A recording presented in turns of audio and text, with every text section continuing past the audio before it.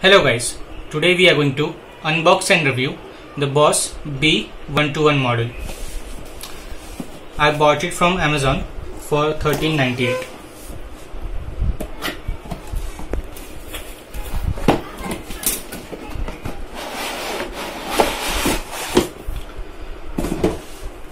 So here we have got a manual cum warranty card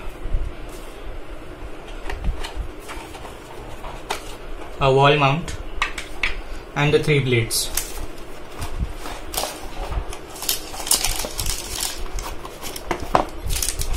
As you can see it has got some nice wrapping around the boss.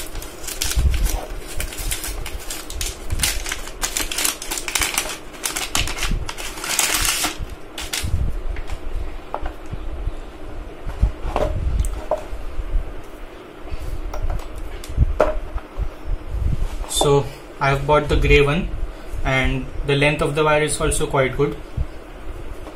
And these are the th three blades that came with it. So as you can see I have bought the grey color version.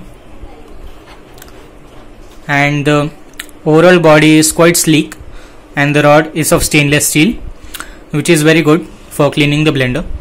And right now we have no blade attached with it but we have got three blades with it and the length of the wire is also quite long. So it is good for overall handling of the blender.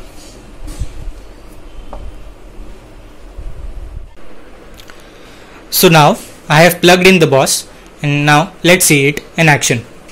First we will try it on speed 1 which is at the upper side and then speed 2 which is at the bottom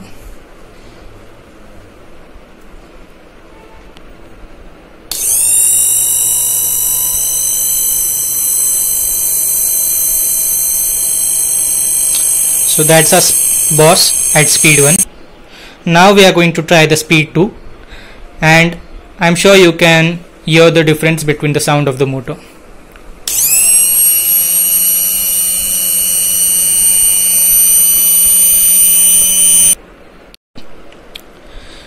So that was the first demo of our boss.